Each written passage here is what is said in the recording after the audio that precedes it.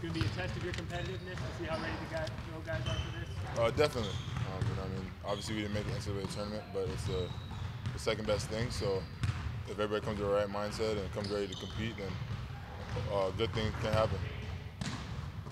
Your name, your name popped up on uh, the Draft Express uh, mock draft today. Is, is that just something that feels rewarding, or feels like people are see, seeing what you're doing? I, I actually didn't know about that. Thank you for letting me know. But uh, I guess it is rewarding, but at the same time, it doesn't mean anything unless you still work. And I still got lots of stuff to do. I still want to win with my teammates. I mean, everything is for them. Um, I, every, every individual goal I have is because of my team. So I think it's, it is rewarding, but at the same time, still, got, I still got more stuff to do. Did you ever run into Rider when you were on the East Coast or any of the Nah, guys on that team? Never. I, I, maybe some guys. I'm not sure. I haven't looked at the roster, but uh, maybe. But I've never.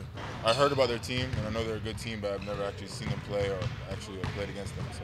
That's strange to get a team that you're basically, it's going to kind of be you guys against you almost, isn't it? Because you're not going to have a great scouting report on them. I, yeah, kind of, but I mean, I played in the NIT before, and it's kind of been the same way. You, know, I mean, you, know, you play against teams that you've never even heard of, or, Yeah. or teams that you've never seen. So that's kind of how it is. And um, so at my old school, that's how teams felt about our team. Yeah. uh, Illinois State, they never heard of us and stuff like that. So it's always a different experience, but.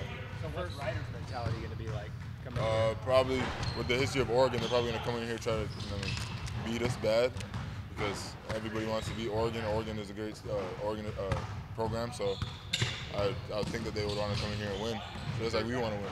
first few minutes of the game, then like almost like a feeling out process of this guy can do this and this guy can do that. Definitely, you know, I mean, you got to kind of scout on the fly in that sense because you got to see who can do what and who their shooters are and stuff like that. And hopefully, the coaches have done a great job of scouting, and uh, for the most part, to see where we can at least start from and stuff like that. Um, they, they won their, their conference uh, regular season, so I'm sure there's a lot of film that we could watch on them.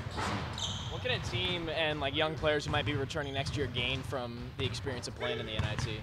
Uh, you know, I mean, people are going to still be working hard. It's the next step down from uh, NCAA tournament.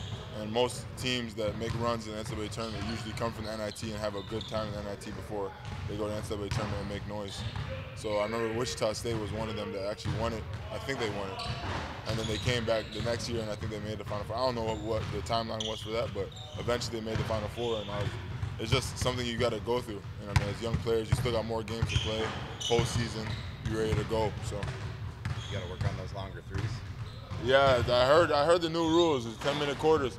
I mean, I get to rest a little bit now in between uh, the 10 minutes, but uh, it'll be interesting to see how, how the rules are.